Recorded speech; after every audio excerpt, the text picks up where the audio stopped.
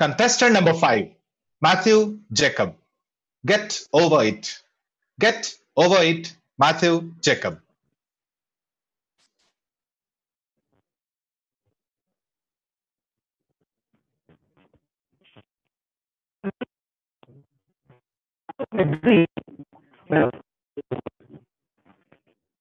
athletic meet, 100 meter dash,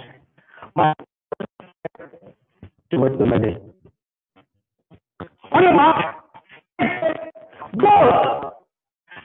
Move like a and I finished the last.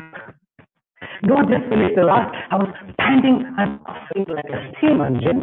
I was out of breath and I collapsed at the finish line. My every attempt to run ended similarly. I realized that I couldn't run. My dream was the chair, judges fell Toastmasters. I've done many things in life, good and bad. But what I never attempted was running. It was a deep rooted belief that I couldn't run. Even in college, I did not even run after girls. I just walked behind them. In fact, the girls used to run away from me.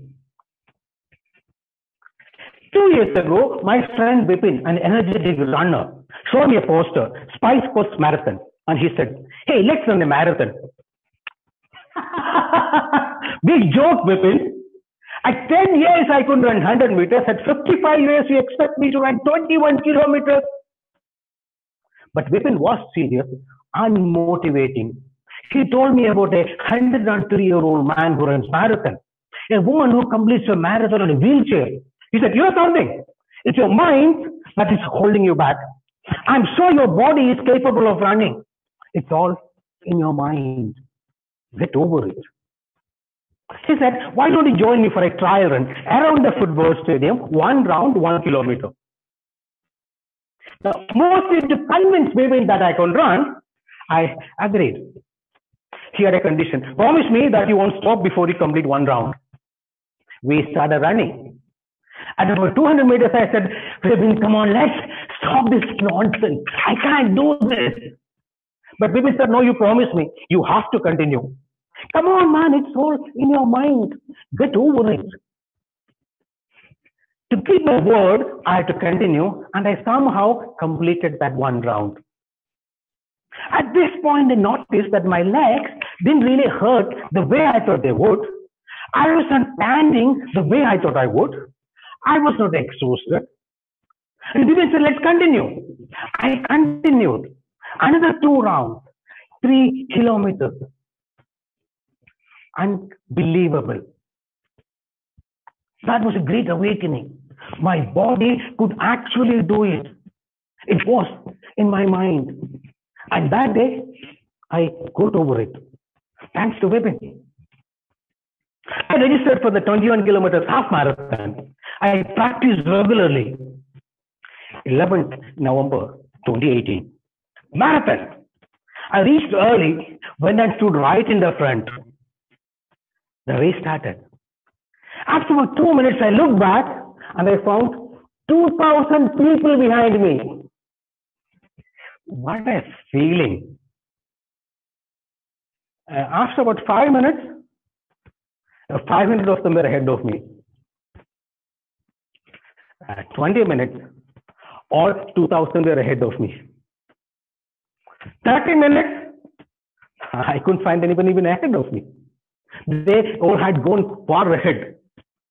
I was running a marathon all alone through those never ending trails. After running for some time, I started feeling, why am I doing this? What's the point? And I was about to give up when this most motivating thought occurred to me. I had to complete that course to reach my car.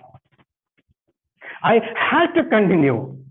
I ran, I walked, I crawled, I rolled.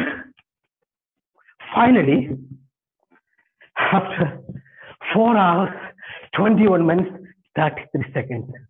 I completed the race. Just behind a pregnant woman as the last person to complete the race. The last person, I felt like a huge failure. I stood in a corner with my head down. I'm a failure. I'm a loser. I'm useless. That's when a cute little girl, one of the organizers, came up to me, smiled at me, and said, Congratulations. And she handed me a medal. It was written on the medal, finisher 21.097 kilometers. Hey, that's what it hit me. I finished 21 kilometers. I who could not run 100 meters at 10 years finished 21 kilometers. I'm not a loser. I'm not a failure. I'm not useless. I'm a winner. I am a winner. I wore the medal and walked with my head high. Friends, what is winning? Winning is not only about running faster than someone else. Winning is about running faster than how you ran yesterday. Winning is not only about being better than someone else. Winning is about being better than what you were yesterday. Winning is about doing something that you could not do yesterday. I did not win an Olympics medal. That day at the marathon, I was not even the best. But I did my best. And that made me a winner. What is holding you back?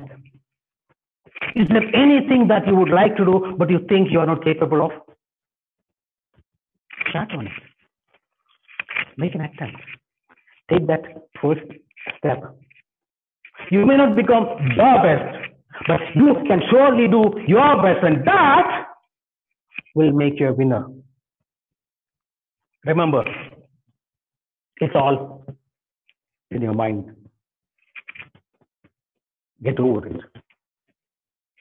Understand?